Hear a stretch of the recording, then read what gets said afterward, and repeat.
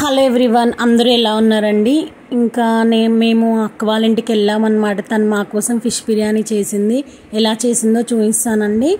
First ఫిష్ని నీట్గా కడి కడిగేసుకున్నాక అల్లం వెల్లుల్లి పేస్ట్ వేసుకోవాలి. తర్వాత ఒక స్పూన్ పసుపు ఒక హాఫ్ స్పూన్ ఆయిల్ వేసుకొని మనం ముక్క అనేది విరిగిపోకుండా మంచిగా కలుపుకోవాలండి. తర్వాత రెండు స్పూన్ల పసు సారీ సాల్ట్ వేసేసి ఇంకా మనకి కొంచెం జాగ్రత్త కలపాలండి. ముళ్ళులు కుచ్చుకుంటాయి. తర్వాత ఒక రెండు స్పూన్ల కారము. కారం ఇది ఎక్కువ ఉంది కాబట్టి మేము రెండే స్పూన్లు వేసాం. మీరు మోతాదుకు తగ్గట్టుగా మీరు కారం వేసుకోండి. ఏవైనా అంతే మీరు ఎలా తింటారో దానికి తగ్గట్టుగా వేసుకోవాలి ingredients. Half cup half spoon పెరుగు వేసుకోవాలి. ఇది మన బిర్యానీ కాబట్టి పెరుగు కంపల్సరీ అండి. దీంట్లోకి ధనియా పౌడర్ ఒక స్పూను. కొంచెము అలాగే మనం కొంచెం గరం మసాలా కూడా వేసుకోవాలి. తర్వాత ఇప్పుడు ఒక నిమ్మకాయ బాగా పిండేసుకొని ఒక హాఫ్ అన్ అవర్ అలా మనం డీ ఫ్రిడ్జ్లో పెట్టి పక్కకు పెట్టుకోవాలండి. ఇప్పుడు ఫిష్ని ఫ్రై చేసుకోవాలి. ఆయిల్ వేసుకున్నాక ఒక్కొక్క ముక్క వేసేసుకొని అందులో ఆయిల్లో ఇప్పుడు టెన్ మినిట్స్ మనం లో ఫ్లేమ్లో పెట్టేసి మనము వాటిని ఫ్రై చేయాలన్నమాట. కాసేపు ఒక టెన్ మినిట్స్ తర్వాత మనం రివర్స్లో వేయించుకోవాలి. అంటే ఫ్రై అవ్వాలి.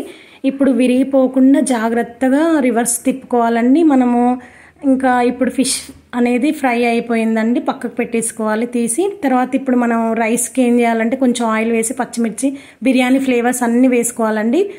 తర్వాత వాటర్ వేసేసుకొని మనము దీంట్లో కొంచెం పుదీనా కొత్తిమీర సాల్ట్ ఇవన్నీ వేసుకోవాలి. కొంచెం ధనియా పౌడర్ వేసుకోవాలన్నమాట.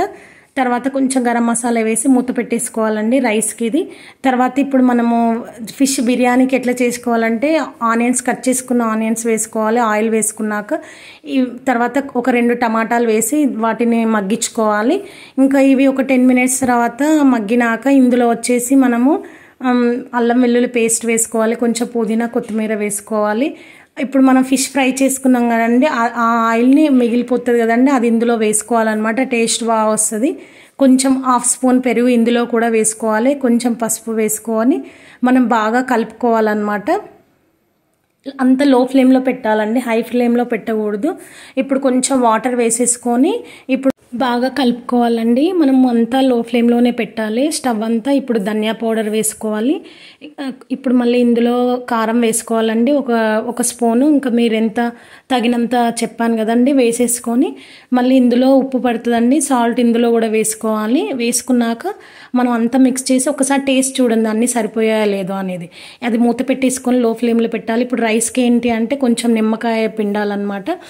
ఇప్పుడు అది మనకు అవుతుంది కదండి. ఇప్పుడు ఇందులో ఫిష్ మసాలా మసాలా యాడ్ చేయాలన్నమాట. చాలా టేస్ట్ వస్తుంది అనమాట ఇంకా ఇవన్నీ కలిపేసుకున్నాక ఇప్పుడు మనం ఇందులోకి ముక్కలు యాడ్ చేసుకోవాలి. అన్నీ వన్ బై వన్ హాఫే యాడ్ చేశానండి. ఇంకా హాఫ్ అనేది మనం పైనంగా లేయర్కే వస్తుంది. ఇప్పుడు రైస్కి మనము వచ్చింది కదండి రైస్ యాడ్ చేయాలి. తర్వాత ఇప్పుడు మనం ఒక్కసారి చూడండి లో ఫ్లేమ్లో అన్ని మసాలాలు పట్టాయా లేదా అని మళ్ళీ ఒకసారి చెక్ చేయాలి. మనము రైస్ అనేది అయిపోయింది కదండి హాఫ్ బాయిల్ అయిన రైస్ని ఇందులో వేసేసుకోవాలి మనము. దీనిపైన ఫిష్ ముక్కలు నేను రిమైనింగ్ ఉన్నాయి కదండి ఆ ఫిష్ ముక్కలు అనేవి దీని మీద వేసేసుకోవాలి. వేసేసుకున్నాక అన్ని వన్ బై వన్ స్లోగా పెట్టేసుకొని ఇప్పుడు దీనికి పైనంగా మనం కొంచెం ఆయిల్ చల్లుకోవాలన్నమాట. ఆయిల్ కొంచెం మనము నిమ్మకాయ కూడా రసాన్ని మనం మనం కొంచెం నిమ్మకాయ రసాన్ని కూడా మనం పిండుకోవాలి. ఇప్పుడు వచ్చేసి ఒక థర్టీ మినిట్స్ మనం లో ఫ్లేమ్లో పెట్టుకోవాలి. మనకి రెడీ అయిపోయిందండి ఫిష్ బిర్యానీ. మీరు ట్రై చేయండి. ఎలా ఉందో చెప్పండి. సబ్స్క్రైబ్ చేయడం లైక్ చేయడం మాత్రం మర్చిపోవద్దండి. Thank you.